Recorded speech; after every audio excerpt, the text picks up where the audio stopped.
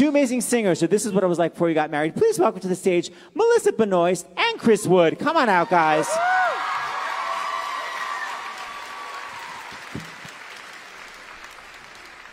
So, um, so Chris, you're representing Israel, and Melissa, you're representing Marco. Just FYI. You made this make sense seamlessly. Thank you. Couldn't make more sense. Take that at face value.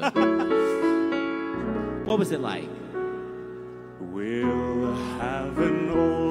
old-fashioned wedding, blessed in that good old-fashioned way. I'll vow to love you forever. You'll vow to love and honor and obey. It's old-fashioned, bear with me. Someday in some little chapel, someday when orange blossoms bloom, we'll have an old-fashioned wedding.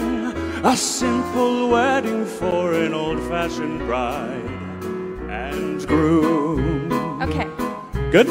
I want a wedding in a big church with bridesmaids and flower girls. Oh, no. A lot of ushers in tailcoats, reporters and photographers.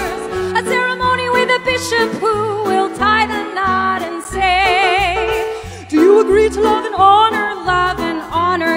but not obey? I want a wedding ring surrounded with diamonds and platinum. That sounds expensive. A big reception at the Waldorf with champagne and caviar.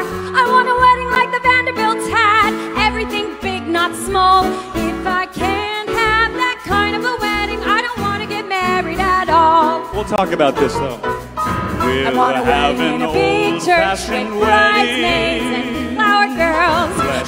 in that good old-fashioned way.